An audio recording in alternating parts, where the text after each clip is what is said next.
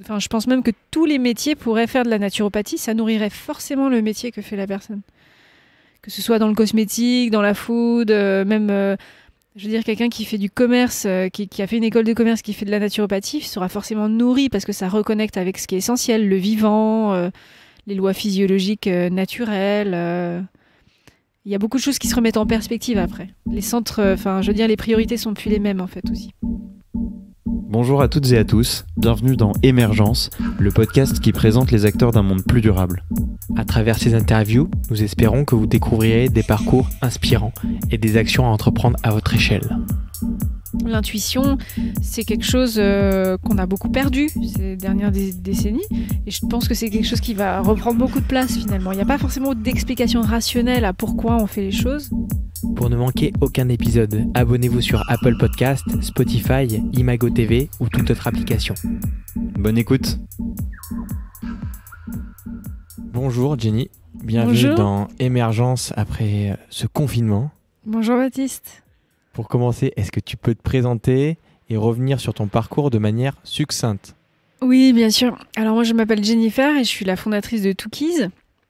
Euh, j'ai eu plusieurs vies, parce qu'il y a plusieurs vies dans une vie. C'est aussi le propre de, de, ma, génération, j'ai l'impression. Euh, initialement, j'ai fait l'école boule et je suis graphiste. Et ensuite, j'ai évolué euh, un peu dans le graphisme et j'ai travaillé du coup pour Deezer et des startups un peu comme ça. Et après, je me suis reconvertie à la naissance de ma fille en pâtisserie parce que j'avais besoin de me reconnecter à la matière. Et j'ai beaucoup aimé la pâtisserie, mais il m'a manqué le sens en fait. Il m'a manqué euh, euh, une connexion avec le vivant. Il y avait, il y avait le faire, la connexion avec la matière, mais il, il manquait euh, l'aspect vertueux et le pourquoi et le sens. Voilà. Donc j'ai fait de la naturopathie pendant trois ans. Et ça a beaucoup nourri mon travail de pâtissière. Et comment tu expliques, là tu parles de, sens, cette reconnexion, euh, comment tu expliques ce manque euh, que tu avais? C'est à la fois euh, quelque chose de positif et négatif, mais y enfin, c'est-à-dire qu'il y, avait cette notion que c'était pas exactement ça que je cherchais, que c'était pas exactement dans ça que je, je trouvais de la joie. J'avais l'impression que juste en faisant des gâteaux, je trouverais de la joie, mais après, quand j'ai touché beaucoup de matières raffinées, de farines raffinées, de, qu'il n'y avait pas forcément de produits bruts, je pensais que j'allais me reconnecter bah, aux saisons, à la cuisine, au goût, et en fait, il y avait beaucoup, voilà, l'aspect euh, production. Et je pense que le fait d'avoir un peu peut-être fantasmé cette profession, c'était à la fois euh, bah, positif parce que j'y suis allée, mais négatif parce que du coup j'ai été face à une réalité euh, de métier. Et que plutôt que de d'en sortir, j'ai été chercher la naturopathie qui a nourri, qui a remis du sens, qui m'a reconnecté avec la nature, avec, euh, je pense, ce que devrait être finalement et la cuisine et la pâtisserie. Quelque chose de l'ordre du bon sens euh, dans l'approvisionnement des, des matières premières, dans le fait de- dans le sourcing, dans le fait d'intégrer, voilà, de s'inscrire soi-même dans un cercle vertueux, euh, dans la façon dont on cuisine, pâtisse et, et voilà. Et la joie, je l'ai trouvée comme ça. De toute façon, on va revenir sur ces concepts-là. La naturopathie, on n'en a jamais C'est un parlé peu ici. galvaudé. non mais c'est vrai. hein. On va, on va expliquer ce que c'est. Mais juste avant d'expliquer euh, ces éléments-là, est-ce que tu peux expliquer un petit peu ta transition entre bah, juste ces, ces différents euh, métiers, vies que Mm. tu as eu Alors, moi, je crois que le mot d'ordre de toute cette direction, c'est que déjà, il n'y avait pas de stratégie. J'ai pas fait d'école de commerce. j'ai pas eu un business plan. J'ai pas eu une vision. euh, Il n'y avait pas une vue dégagée sur où j'allais.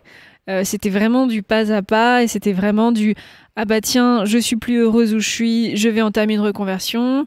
La pâtisserie parce qu'il y avait l'aspect euh, créatif, euh, gustatif et technique qui était aussi proche de mon ancien métier de graphiste.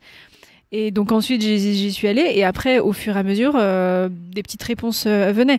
Mais tout s'est fait de manière très intuitive en fait. Et je pense que l'intuition c'est quelque chose euh, qu'on a beaucoup perdu ces dernières dé- décennies et je pense que c'est quelque chose qui va reprendre beaucoup de place finalement. Il n'y a pas forcément d'explication rationnelle à pourquoi on fait les choses. Euh, voilà. On peut passer pour des un peu des voilà des, espèces de euh, de doudingues ou de, de gens un petit peu frivoles ou dilettants. Mais je crois que non, en fait. Euh, on peut avoir euh, plusieurs centres d'in- d'intérêt et que tout ça nourrisse une pratique, quelle qu'elle soit. Et la naturopathie, on y reviendra, mais peut-être. Enfin, je pense même que tous les métiers pourraient faire de la naturopathie. Ça nourrirait forcément le métier que fait la personne. Que ce soit dans le cosmétique, dans la food, euh, même. Je veux dire, quelqu'un qui fait du commerce, qui, qui a fait une école de commerce, qui fait de la naturopathie, sera forcément nourri parce que ça reconnecte avec ce qui est essentiel, le vivant, les lois physiologiques euh, naturelles. euh. Il y a beaucoup de choses qui se remettent en perspective après. Les centres, euh, enfin, je veux dire, les priorités sont plus les mêmes en fait aussi. Expliquons maintenant ce qu'est la naturopathie. La naturopathie, la naturopathie, en fait, c'est, c'est les naturopathes sont avant tout des éducateurs de santé. Donc, c'est-à-dire qu'en naturopathie, on apprend comment fonctionne. C'est des choses qu'on devrait apprendre à l'école, hein, à la maternelle. euh, on apprend comment fonctionne le corps. On fait beaucoup d'anatomie. Euh, on apprend à situer son foie. On apprend où se, et comment se passe la digestion. On apprend comment euh, on interagit avec les aliments. En fait, c'est des bases de bon sens de, vie de tous les jours. On apprend euh, que ce qu'on met dans sa bouche a une incidence sur sa santé. Donc, on fait de la prévention de santé, en fait. Et on ne soigne pas, on n'est pas dans une démarche allopathique, entre guillemets, on est malade, par quoi on soigne. On est dans une démarche d'éduquer les gens pour fabriquer de la santé, faire de la santé. Et ça passe par euh, une bonne hygiène de vie, une bonne alimentation, euh, une mise en place d'exercices physiques. euh, et il y a aussi une dimension très psycho et spirituelle aussi. Parce que la spiritualité est quelque chose qu'on rattache très souvent à la religion. Or, en fait, la spiritualité peut être aussi très liée à, la nature, justement. Et donc toi, si on reprend les éléments, tu as fait donc euh, 10 heures la pâtisserie.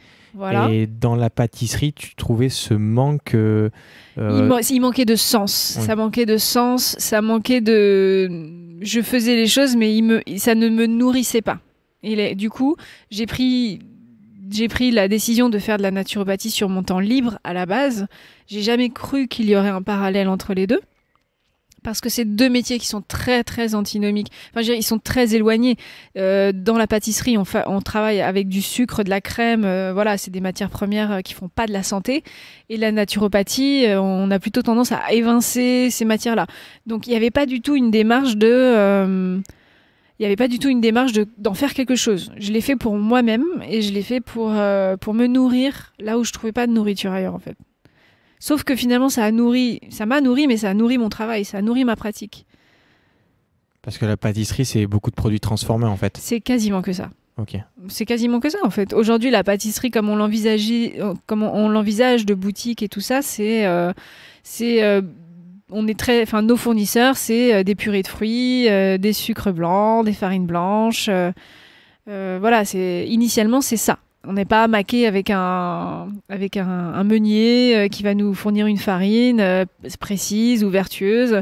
On n'a pas, euh, il y a très peu de, de pâtissiers qui, par exemple, ont des, des maraîchers qui vont leur livrer des cagettes de légumes qu'ils auront fait pousser eux-mêmes ou ce genre de choses. Donc, il y avait tout un, un lien justement avec la nature qui me manquait. Je, parfois, dans des journées de travail, je, tra- je travaillais plus avec du plastique qu'avec de la matière brute, en fait. Donc, euh, donc la naturopathie m'a juste permis de, de retrouver euh, tout simplement euh, un sens personnel à, à tout ça. Et donc là, si je comprends bien, en fait, tu as, dû suivre une formation de pâtisserie et tu as déconstruit tout ce qu'on t'avait appris en Exactement, intégrant ouais, exactement. la formation. Tout à fait. Parce qu'en fait, la pâtisserie, comme la cuisine, hein, c'est très hiérarchisé, avec beaucoup de disciplines. Et c'est vrai que quand je posais des questions sur notamment l'usage des différentes farines, on me disait tout le temps, c'est comme ça, c'est pas autrement, c'est la tradition, ne cherchez pas. Donc en fait, c'est vrai que ça, on peut accepter ça, euh, et, pourquoi pas. Mais en fait, quand j'ai fait de la naturopathie, bah, j'ai compris que non, pas forcément.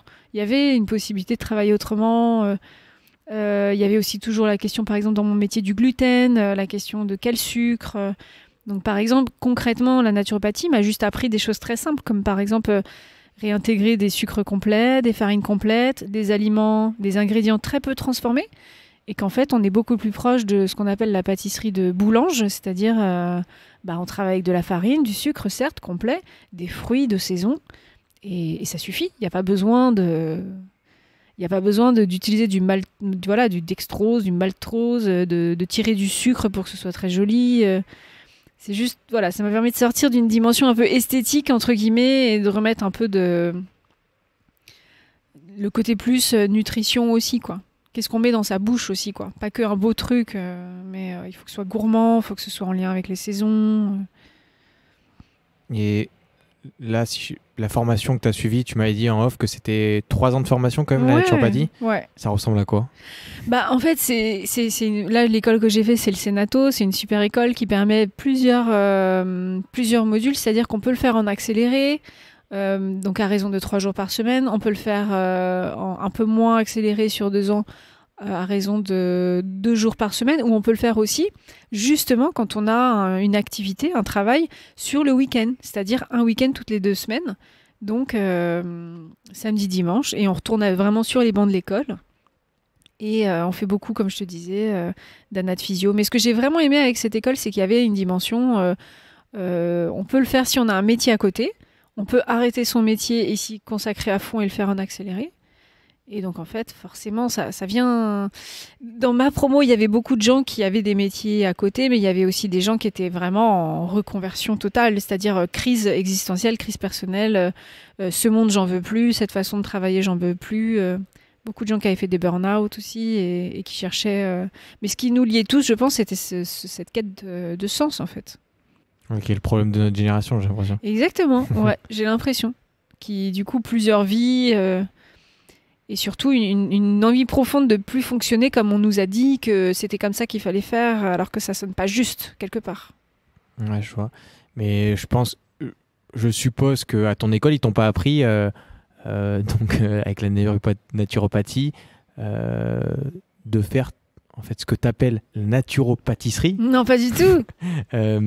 C'est moi qui ai pioché. donc c'est toi qui as pioché Ouais. dans tes cours de naturopathie, qui est en fait basé sur quelque chose qui a du sens euh, autour de la nature, si je comprends bien. C'est ça pousse Bah, comme ça. Par exemple, euh, c'est vrai qu'il y a toute une dimension nutritionnelle qui était Mm. vraiment intéressante. Donc, euh, quels sont les super aliments euh, qu'on va pouvoir intégrer dans l'alimentation de tous les jours?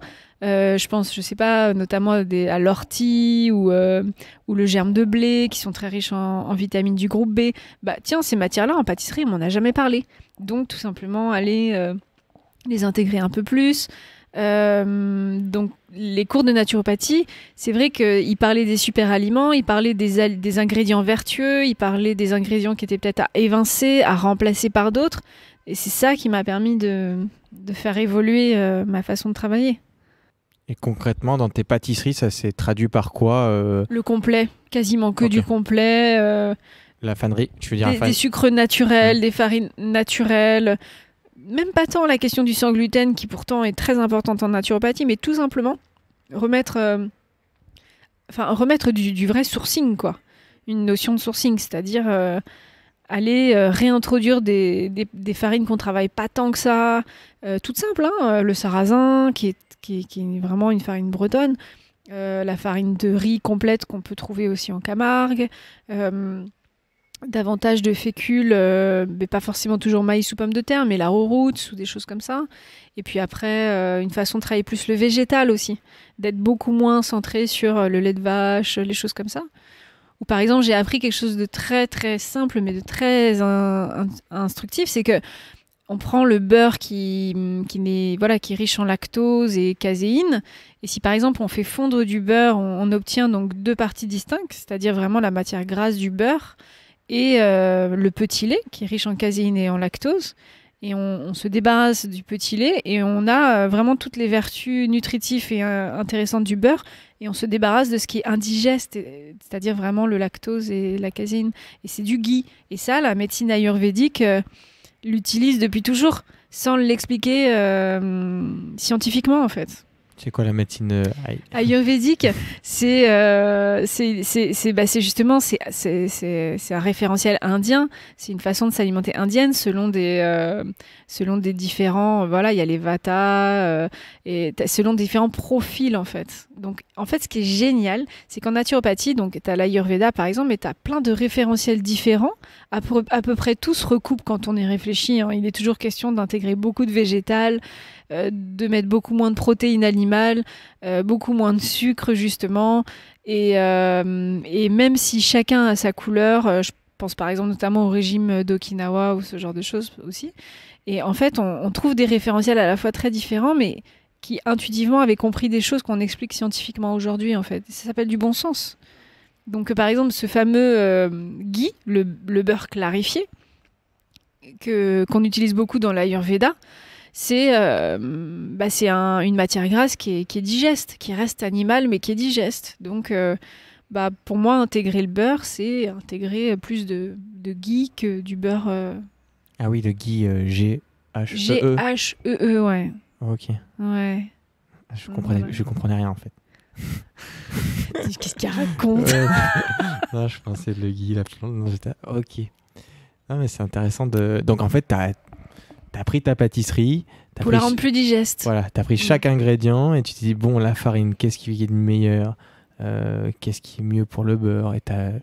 Oui, ou, ou par exemple, il y a une chose, une des premières choses qu'on modifie dans, dans, par exemple, quand quelqu'un nous raconte ce qu'il mange, une des premières choses qu'on va, qu'on va revoir, c'est euh, les matières grasses. Il y a très peu de gens qui savent vraiment bien utiliser les matières grasses pour faire de la santé. Or, notre cerveau est constitué euh, à majorité de lipides et on a, euh, vraiment, euh, on a vraiment besoin des bons gras. Donc, il y a eu toute une, une période dans les années 90, on parlait beaucoup de régime, on était beaucoup dans l'éviction. Aujourd'hui, par exemple, ce qui compte beaucoup en naturopathie, c'est que les gens vont euh, cuisiner avec une huile euh, qui va pas, euh, enfin qui va tenir la chaleur. Donc, par exemple, l'huile d'olive, l'huile de coco. Et pour l'assaisonnement, on va intégrer des huiles beaucoup plus riches en oméga 3, comme l'huile de colza, l'huile de cameline, l'huile de, il y a aussi l'huile de noix, mais toutes ces huiles sont plus fragiles. Mais donc, on va parfois juste modifier ça et ça va faire beaucoup. L'apport d'oméga 3 va soutenir le système nerveux, ce genre de choses. Donc, c'est des petites choses comme ça qui m'ont permis d'intégrer des huiles que par exemple je trouvais pas moi dans ma pratique et dans mon métier. Qu'est-ce qui un bon gras et un mauvais gras alors? Bah, il y a les gras euh, qui vont entre guillemets vont boucher tes artères et puis il y a les gras qui vont nourrir ton cerveau ou qui vont euh, permettre euh, les échanges euh, cellulaires, tu vois, entre justement le cerveau, les neurotransmetteurs et tout ça. Et c'est vrai qu'on se rend compte que dans l'alimentation, souvent, bah, il va pas y avoir assez d'oméga 3. Ok. Voilà, il y a les oméga 3, les oméga 6, les oméga 9. euh, et donc, en fonction de ça, on va, on va se rendre compte que, oui, qu'il y a des gens qui ont des vraies carences euh, lipidiques, euh, voilà, les bons gras, mais qui, par exemple, vont mettre beaucoup de, gras trans, le beurre euh, à foison, mais très peu de, bons lipides. Donc, ça, on revoit ça, on corrige, et tout de suite, il y a des résultats intéressants. Et tu les trouves où? C'est dans quelles huiles que tu trouves ces bons gras? Dans les oméga 3, vraiment. euh, mais c'est des huiles qui sont peu stables, qui sont fragiles, qui tiennent pas la lumière, qui s'oxydent très vite. Donc on les garde au frigo. Donc on les trouve beaucoup en magasin bio. Donc ça va être par exemple euh, dans donc l'huile de colza, l'huile de nigel, l'huile de noix, euh, toutes ces huiles là qu'on va utiliser pour assaisonner. On va très peu les cuisiner finalement. Mais euh, c'est en fait c'est dans les petits poissons aussi, les, les sardines, euh, les maquereaux, euh, les choses comme ça.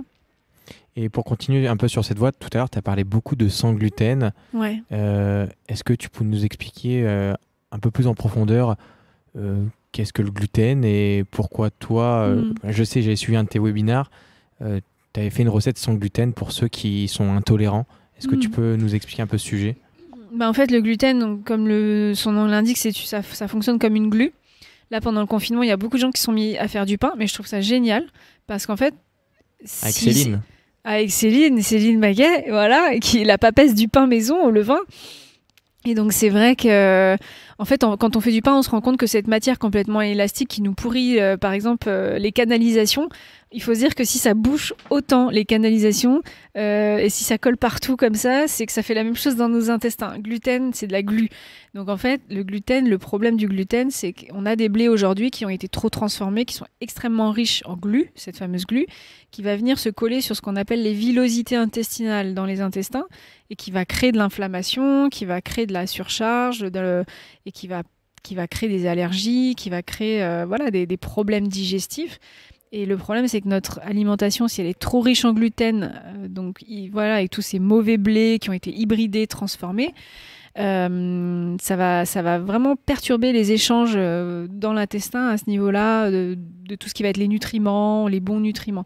Donc le problème du gluten, c'est qu'il y a, y a aujourd'hui des gens qui sont vraiment allergiques. Il y a des maladies dites de civilisation comme cœliaque, Crohn, qui sont des maladies où même un grain de blé, ça, peut les mettre en vrac pendant plusieurs jours.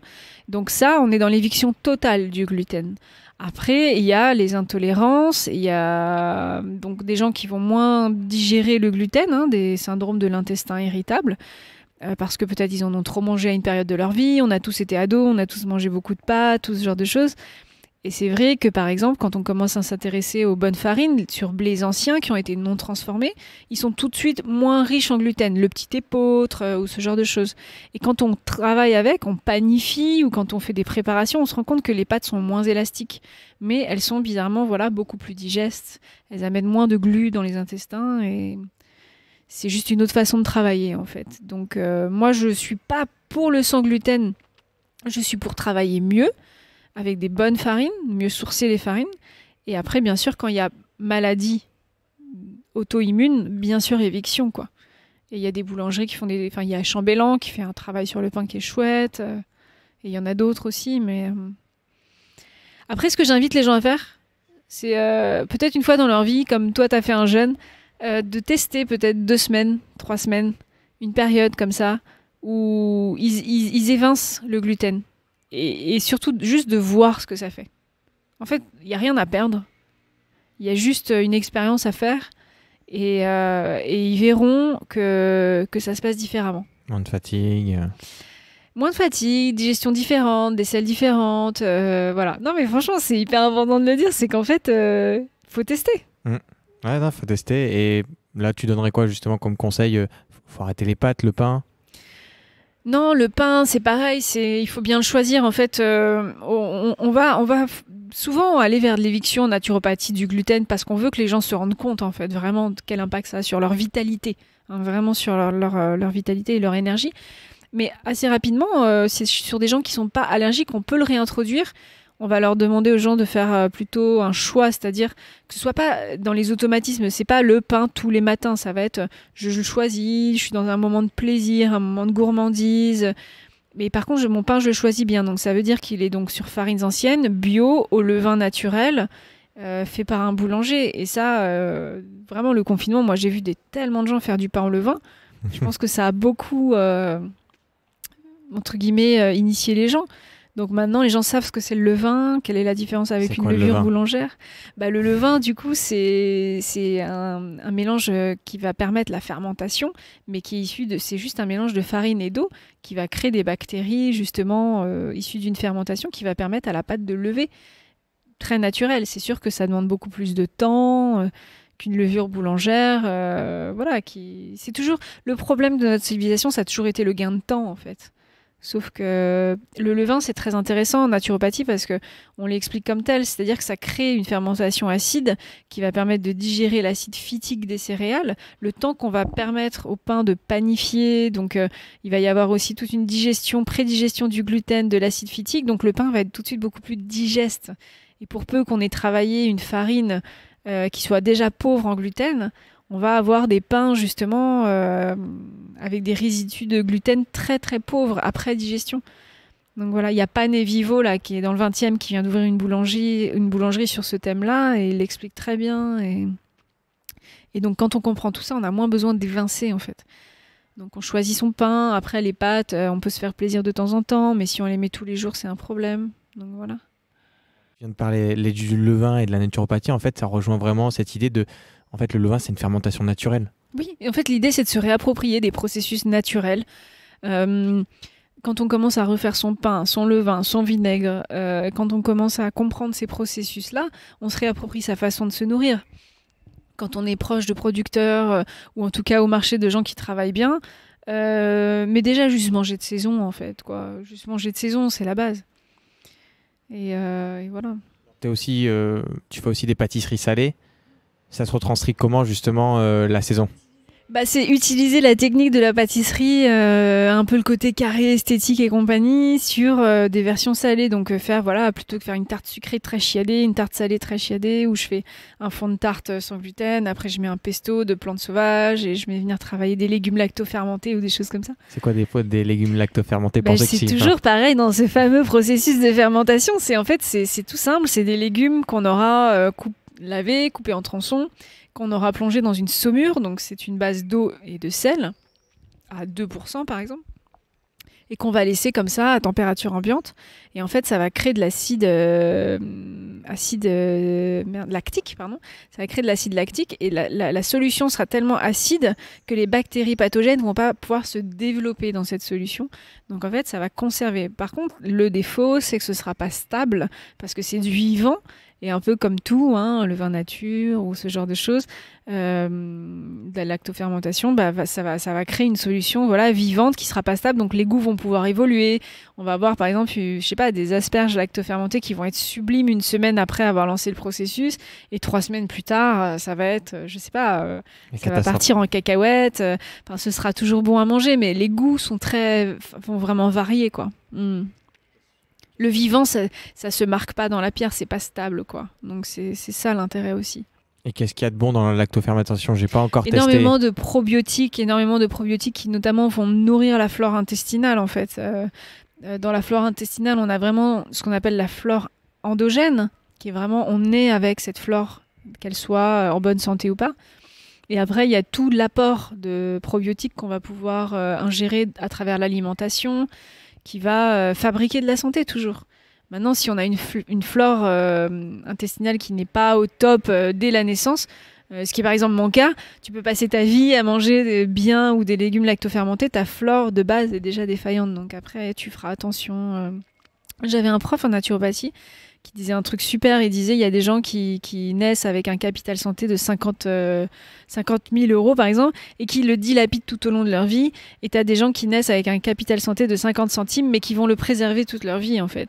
Et la naturopathie, je crois que c'est surtout une, une opportunité de se connaître soi, en fait. C'est-à-dire euh, d'être à l'écoute de son corps, de comment ça fonctionne, et du coup de, de savoir ce qui est bon ou pas pour soi. Parce que parfois, on va pouvoir, euh, sur le papier, avoir des choses qui sont très vertueuses pour tout le monde. Et par exemple, euh, là-dedans, même dans la lactofermentation, il y a des gens qui ne le digèrent pas bien. Ou... En fait, les gens doivent vraiment se réapproprier euh, ce qui, voilà, les sensations. quand ils digèrent, que ça se passe bien, que ça se passe pas bien, et tout ça. Faire du jeûne aussi. Le jeûne, ouais, très intéressant. Je vais faire un podcast sur le jeûne. Tu devrais faire un podcast sur le jeûne. Tu, tu, tu devrais interviewer quelqu'un qui, voilà, qui, qui vraiment est spécialiste. Et... Ah, parce que ça rejoint tout ça en fait. Mais tu vois, par exemple, ce qui me pose problème, c'est que quand tu parles de toutes ces questions-là, dans la, y a- tu peux en parler avec des médecins, ils vont toujours te dire oui, mais c'est pas prouvé scientifiquement. Voilà, cette éternelle question du prouver scientifiquement. Mais les gens, s'ils sentent que ça leur fait du bien, ça suffit en fait. Est-ce qu'on a besoin de prouver scientifiquement les choses pour les vivre?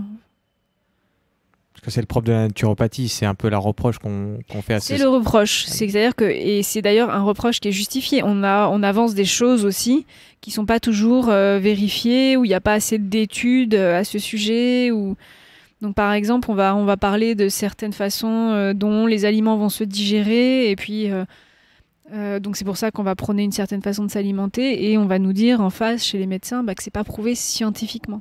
C'est pas prouvé scientifiquement que les, gra- les graines germées sont, amènent de l'énergie et de la vitalité. Voilà. Après, c'est vrai que ce qui est toujours intéressant, nous, chez les naturopathes, c'est qu'on, quand on a des gens qui sont partants, on leur dit mais, mais testez. Testez, essayez, et puis vous verrez. Il n'y a pas un effet placebo aussi sur la naturopathie de se dire euh, Alors, sur d'autres choses, mais pas la naturopathie, je pense. Parce qu'en fait, quand les gens se réapproprient leur santé, euh, ils ont de toute façon, ils constatent des choses. Après, très souvent, et chez nous, les élèves naturopathes, au début, il y a une volonté de très bien faire et d'être un peu dans le prosélytisme et tout ça. Mais assez rapidement, on se rend compte qu'en fait, euh, il faut tout simplement euh, manger de tout, de manière variée, euh, de saison, locale, de terroir, et que ça se passe plutôt bien quand on fait ça, en fait. se réapproprier en fait ce qu'on met dans son assiette. Exactement, ouais, ouais, ouais. C'est aussi une façon de mettre du sens. Hein. Donc, euh, il n'y a pas de produit magique, il n'y a pas de poudre magique, il n'y a pas. voilà. De toute façon, c'est c'est complémentaire euh, d'une bonne activité physique. Il y a Complètement. pas, Complètement. ça va pas soigner tous les C'est problèmes. de l'hygiène de vie Mm. pure et dure, en fait, vraiment. Ouais, c'est de la logique. C'est tu vois comment c'est produit, tu te dis bon, je le mets dans mon ventre. euh, C'est ça. forcément, Mm. une farine euh, qui a été faite à péta ou schnock et remplie de pesticides, bah, tu te doutes bien Mm. qu'elle est différente qu'un mec qui est à côté de chez toi et qui a fait attention quoi, à, son, à sa terre. C'est ça. Intéressant. Et euh, un peu euh, d'actualité, on a parlé un peu de, de- On sort du confinement là, on est fin mai. Euh, toi, tu, tu fais plein de choses à chaque fois. Tu as écrit un bouquin, tu fait, expérimentes plein de choses, le jeûne, euh, les plantes. Euh, Qu'est-ce que tu as fait pendant ce confinement? Mais moi, j'ai fait du pain, justement. Justement, j'étais longtemps dans, un peu dans l'éviction quand même personnelle du gluten, hein, Mm. pas pour euh, mon travail, mais pour moi. Et en fait, j'ai adoré, merci Céline et plein d'autres gens, me remettre au pain au levain. J'ai trouvé super chouette bah, d'apprendre à faire euh, des focaccia, des pains avec des bonnes farines, du bon levain. Euh, j'ai, euh, avec mon compagnon, on a, planté une vigne il y a six ans, on a travaillé à la vigne. c'est des choses que d'habitude on fait faire et là on les a fait nous-mêmes. Et donc avec tout ce que ça implique de, bah, de peut-être se tromper, de regarder des tutos sur YouTube sur comment on coupe une vigne, tout ça. Mais c'est vrai que à la fin de, enfin que ce soit quand je faisais du pain ou quand je coupais la vigne, de toute façon j'étais hyper heureuse en fait. Donc euh, donc le confinement, moi je l'ai vécu joyeusement parce que forcément j'étais j'étais pas enfermée entre quatre murs, j'étais plutôt enfermée dehors. Donc euh, De toute façon, j'ai l'impression que faire des choses, ça te rend juste content, quoi. Oui, complètement, ouais. ouais, ouais. Il y a beaucoup de gens qui se sont réappropriés pendant le confinement des, la cuisine, le, euh, le sport, le bien-être. euh, c'est un peu le, le point positif hein, du, du confinement quand même. Parce que les gens aujourd'hui, Bah, on est dans une course, mais une course à quoi finalement aussi, tu vois ouais, mais ça permet de, de prendre un peu de recul et de se dire, bon, Mm. qu'est-ce que je mange Qu'est-ce que je cuisine Ouais, c'est clair. On a beaucoup bu après. hein. on a vu des bonnes choses, mais quand même. Et euh, il y a quelque chose que je voulais aborder, c'est tu as plein de projets, là on vient de les évoquer, et je pense que j'en oublie encore plein. Et t'es es maman aussi, t'es la première que je reçois ici, donc euh, euh, comment on, crée euh, une entreprise, en plus là on est dans ton atelier ou que tu as rénové, que tu as fait tous ces projets-là, comment on gère un quotidien surchargé avec une vie de famille aussi? Ah bah en fait là c'est plus simple maintenant que ça l'a été. Mes enfants ils ont 6 ans et 4 ans et aujourd'hui ils, ils comprennent plein de choses et ils sont grands et tout ça mais c'est vrai que quand ils étaient bébés c'était pas simple. Après en plus moi je suis avec quelqu'un qui lui-même est entrepreneur et qui lui-même euh, a des restaurants. Donc on a été beaucoup dans une course. Une course euh, et les enfants après euh, ils s'adaptent beaucoup comme on a l'habitude de dire et ils sont très surprenants aussi. Et moi, je sais que très étonnamment, on, est quand même, voilà, on est, à la recherche du bien manger, on n'est pas obsessionnel, mais on essaye de bien faire les choses. Mais ils mènent leur propre vie. Donc, euh, je veux dire, ils aiment le papy brossard, euh, que je leur achète pas. Mais voilà, ils, sont pas. mes gâteaux sont pas leurs préférés aujourd'hui. euh, ils mènent leur vie. donc, écoute, ça s'est plutôt bien fait. la combinaison vie de famille, vie pro. Mais c'est vrai que euh, ça n'a pas toujours été simple, ouais. Ouais. Euh, Ouais, et ça, justement, c'est marrant, tu viens de citer quelque chose, c'est que il y a un système qui est là et euh, malgré tout, tu es obligé d'acheter des, des aliments transformés, un papri brossard. Euh, et toi, tu sais qu'au fond, bah, justement, on vient d'expliquer que ça respecte pas les principes de Ouais, mais moi naturopathie. j'ai moi j'ai lâché complet moi parce que en fait mes enfants je voulais pas les faire je voulais pas qu'il euh, je voulais pas que ce soit un enjeu ou leur créer des névroses ils ont besoin euh, c'est pas parce que moi et c'est souvent j'avais une prof aussi en naturo qui nous disait ça elle était super elle nous disait que voilà chacun est où il est sur son chemin et il faut pas faire du prosélytisme euh, surtout pas et d'ailleurs j'ai compris très vite déjà pour moi-même que c'est pas comme ça qu'on change les mentalités je me dis qu'à force de mettre des, des, euh, voilà, des fraises trop bonnes sur la table à côté du papy brossard, à un moment donné, elle va comprendre, quoi. Donc ça se fait plutôt comme ça. Ça marche? Bah écoute, ça marche, carrément, ça marche. Mais mes enfants, en tout cas, ils sont super fans des légumes crus, donc ils se, mangent des tiges de céleri entières. euh. Après, après, à côté de ça, quand je leur cuisine dans l'assiette, ils me disent qu'ils aiment pas, mais voilà, on arrive à ruser, euh, on arrive à trouver des, des- moyens de, bah, de faire de la santé pour eux aussi. Mais eux, ils mènent leur vie, ils sont bien. euh. Je pense que parfois, ils se demandent pourquoi on court partout, dans tous les sens. Mais ils nous en parleront plus tard, ils nous feront les reproches plus tard. Et comment, je sais rien, j'ai pas d'enfant, mais comment on fait aimer les, légumes aux enfants? Parce que je sais que j'aimais pas les épinards quand Bah, de, mo- moi, le, système que j'ai trouvé, c'est qu'en fait, je sais pas pourquoi ils les mangent pas cuits, mais par contre, euh, quand ils sont dans le bain, je vais leur tailler des, euh, je sais pas, des tailles, des, espèces de tronçons de concombre ou de courgettes ou de carottes, et je vais mettre ça dans une assiette, l'air de rien, à côté, et ils vont le choper comme, euh, ils vont manger ça comme des petits lapins. C'est comme ça je leur fais manger des légumes et encore plus des légumes crus, ouais. Et ça, ça vient de quand j'étais petite. J'ai une grand-mère qui était australienne et j'avais une grand-mère vraiment française, 100% euh, normande, 100% beurre et 100% gâteau, yaourt et compagnie. Et une qui était beaucoup plus, euh, bah, qui était déjà naturopathe aussi et qui euh, est très proche des plantes et qui, quand je disais que j'avais faim, me sortait des sticks de céleri avec un petit peu de beurre de cacahuète, quoi. Donc en fait, c'est vrai que bah, je reproduis ça et, je- et ça marche pas trop mal. Justement, ta grand-mère, on n'a pas trop parlé dans, dans ce podcast et c'est un peu une de ses sources d'inspiration, si j'ai cru comprendre. Oui, vachement, ouais. Ouais, c'est vrai parce qu'en fait, elle a, elle a, elle a construit euh, sa vie et son business autour de la santé. Elle l'a fait euh, en étant cohérente avec elle-même, c'est-à-dire qu'elle a fini sa vie euh, donc euh, dans une maison qu'elle avait achetée à, à plus de 100 km de Sydney, donc complètement en pleine nature. Euh, elle était quasiment en autosuffisance. Elle vivait avec rien. Elle était très heureuse. Et pourtant, elle avait très bien réussi sa vie, professionnelle, mais elle est allée vers la sobriété. Elle, avant même euh, d'entendre parler de tout ça, elle l'avait appliqué euh, et, euh, et elle trouvait de la joie dans son jardin énormément. Donc, euh, ce que je dis souvent, et c'est vrai, c'est que plus jeune, j'y étais pas sensible, mais aujourd'hui, je me rends compte à quel point ça a planté des graines, en fait. Souvent, les parents, les grands-parents qu'on a vus euh, jardiner, on, les a, on les a regardés un peu de haut, et puis en fait, on se rend compte que ça a mis, enfin voilà, ça a mis, ça a planté des graines vraiment, quoi. Et, et comment tu arrives, justement, tu as, parlé d'un point intéressant, comment tu arrives à harmoniser business et sobriété euh, Bah, par exemple, moi j'ai accepté que ma, ma boîte serait jamais une multinationale, que j'ai pas de volonté de la faire grandir. Euh, moi, moi, mon vrai souhait, c'est de pouvoir vivre de mon travail. Euh, j'ai pas besoin qu'elle ait une croissance. euh, euh, voilà, ça fait cinq ans que je fais ce que je fais. C'est la première année où vraiment je le dis et j'ai pas honte de le dire, où je vais pouvoir vraiment me payer.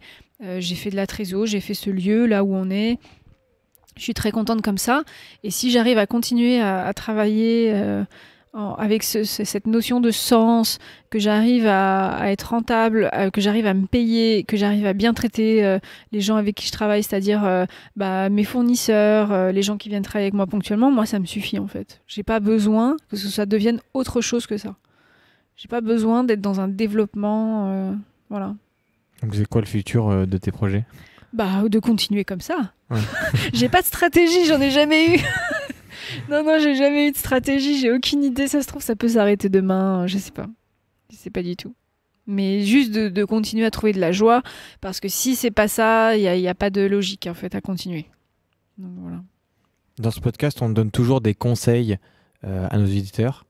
Euh, quels conseils donnerais-tu pour euh, bah, s'intéresser à la naturopathie, je pense? À s'intéresser à la naturopathie Ouais, ça, à s'introduire au sujet. euh. Hmm. Bah, il y a la naturopathie pour les nuls. Non, mais euh, la naturopathie pour les nuls, c'est, j'en rigole, mais en fait, c'est pas complètement faux. Il existe? Ça existe Ah. complètement, ouais. Après, c'est vrai que le directeur de mon école, Daniel Kiefer, a écrit des super livres sur la naturopathie. hein. Il a fait un énorme travail depuis plusieurs, depuis plusieurs décennies, hein, vraiment. Notamment sur. euh, Il y a aussi euh, Christian Brun, qui a écrit des très bons livres sur, euh, bah, par exemple, comment on chouchoute son foie. mais en fait, ça, remet surtout du bon sens, hein, comme je disais. Donc, ça peut être une bonne façon de commencer. Et après. Après, déjà, peut-être aussi, moi je sais qu'avant de faire ma formation, on m'avait demandé de le faire et j'avais trouvé ça un peu étrange, mais d'aller consulter un naturopathe. D'aller voir ce que ça, comment ça se passe. C'est jamais. euh, Enfin, c'est en fait, on fait souvent un bilan, ça se passe euh, donc au cabinet du naturopathe, ça dure entre une heure, voire une heure et demie. Et on fait donc euh, un bilan et une anamnèse. Il y a toute une phase un peu de, où on ausculte la personne selon des critères, des référentiels qu'on a en naturopathie. Et après, on interroge beaucoup la personne sur sa vie, sur sa façon de s'alimenter. Est-ce qu'elle est heureuse? Est-ce qu'elle est heureuse dans sa situation de vie? Et en fonction de ça, on voit où ça pêche et on, on oriente la personne. Ou sur un rééquilibrage alimentaire, ou sur un, un travail psycho, ou sur un travail euh, spirituel aussi, parfois, il y a besoin. Et euh, donc, peut-être, première façon de s'intéresser à la naturopathie, d'aller consulter un naturopathe. C'est un bon premier point. Euh, les deux petites dernières questions. Euh, quel livre conseillerais-tu à nos auditeurs? Tu peux en me dire plusieurs. hein. Par Et la rapport à la naturopathie ou Non, pas rapport à ce que tu veux. Et la deuxième, j'en profite. Qui aimerais-tu écouter dans ce podcast? Eh ben, du, coup, j'ai la personne que j'aimerais conseiller en lecture et que j'aimerais euh, écouter dans ce podcast. Alors il y a Gilles Cousin, euh, quelqu'un que j'aime beaucoup, qui a écrit donc le manuel du bon sens cuisinier. Donc c'est pas du tout à la base un livre de naturopathie, mais c'est un, manuel effectivement, comme le dit le, le titre, euh, pour cuisiner de façon vertueuse et avec beaucoup de bon sens, en intégrant beaucoup la notion de zéro déchet, de terroir, de saison. Euh, donc, et elle a une dimension très pédagogique, donc j'aime beaucoup son livre et j'aimerais bien l'entendre dans ce podcast. Et après, euh, j'aime beaucoup le régal végétal de François Couplan, parce que je m'intéresse beaucoup aux plantes sauvages et je pense que c'est une bible. C'est pour moi, c'est le Netflix quoi du soir. C'est vraiment euh, une façon d'aller à la rencontre de ce qui est tout autour de nous et qu'on ne connaît pas. J'aime beaucoup effectivement le livre de Daniel Kiefer sur l'encyclopédie de la naturopathie, donc avec des bilans sur comment on fait les bilans et tout ça. Et récemment, euh, qu'est-ce que j'ai lu de très intéressant aussi? Après, plus des livres de spiritualité. Voilà. Pas de nom. Attends, je réfléchis, j'ai oublié. Mais c'est pas grave, sinon tu. Euh, Oui, beaucoup plus sur la féminité. Le féminin sacré de Camille Sfez aussi, que j'aime beaucoup. Euh, j'aime beaucoup aussi euh, euh, Femme qui danse avec les loups aussi. Je me rappelle plus la. Je vais trouver, je Le mettrai le lien dans tous les cas. Ouais, voilà. Et après, en pâtisserie, j'aime beaucoup Claire Hetzer, une consoeur qui travaille beaucoup avec les saisons. Jessica après Alpato. Et, euh, et voilà. C'est déjà pas mal. Ouais, c'est déjà bien comme, les, comme, comme projet de lecture. Aller voir un naturopathe et lire 5 livres, c'est déjà pas mal. Mm, carrément, ouais. Et d'apprendre à cuisiner. euh, Avec Manuel du bon sens cuisinier. Ok, avec Jill. Et, euh, et si on veut faire du pain, on Avec répète. Céline avec Maguet. qui est déjà passé dans le podcast. on Exactement. devra faire un juste sur le pain. Avec... Ah oui, carrément, c'est une bonne idée ça. on va, je vais faire une table ronde avec elle et. bah, tu m'avais donné. euh, Et Gilles Voilà, on va, faire un- on va essayer de réfléchir à ça. Et où c'est qu'on peut te retrouver? Euh, bah, Sur mon site, toukis.fr, sur Instagram, Toukis Gambetta. Et après, moi, j'ai un labo dans le 20e. on- Voilà. On peut venir euh, chercher peut venir, euh, euh, des ouais, tartes. En ce moment, euh, je fais pas mal de commandes en ligne, pas mal de cours en ligne aussi. Et, et après, en fonction de comment reprendra mon activité, voilà. Moi, je travaille beaucoup pour les, en- les entreprises initialement. Je fais beaucoup de traiteurs. Donc, on verra comment ça évoluera, tout ça. Bon, c'est le moment de t'acheter des tartes alors. Ah oui, c'est le moment, ouais, carrément. ouais. Bon, mais merci Jenny. Merci, merci Baptiste. Et à cool. bientôt. Ouais, à très bientôt. Merci beaucoup. Si vous avez apprécié cette interview, faites-le savoir à notre invité sur les réseaux sociaux. Vous trouverez les liens sur notre site internet émergence.co, ainsi que toutes les ressources pour approfondir le sujet. Et si vous voulez nous donner un petit coup de pouce, rien de plus simple, vous pouvez mettre un 5 étoiles sur Apple Podcast, vous abonner à l'émission sur les plateformes d'écoute ou partager l'épisode dans votre entourage. Et pour ne manquer vraiment aucune actualité, vous pouvez nous suivre sur notre Instagram ou notre compte Facebook. Nous tenons également à remercier Bertrand Jacquet pour la création de la musique du générique. À dans deux semaines pour le prochain épisode. Bye bye.